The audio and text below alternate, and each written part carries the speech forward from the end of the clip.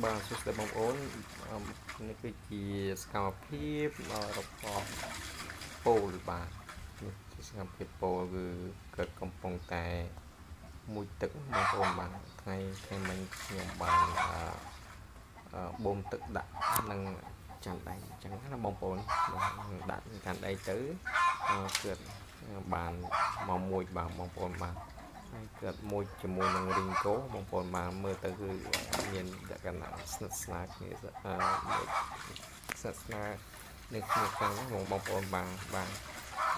នេះកាត់ចាប់អាមួយបន្តទៀតហើយបងប្អូនបានបងប្អូនហើយរីងកូកាត់អឺកាត់ចូលចូលចេញចូលចេញបងប្អូន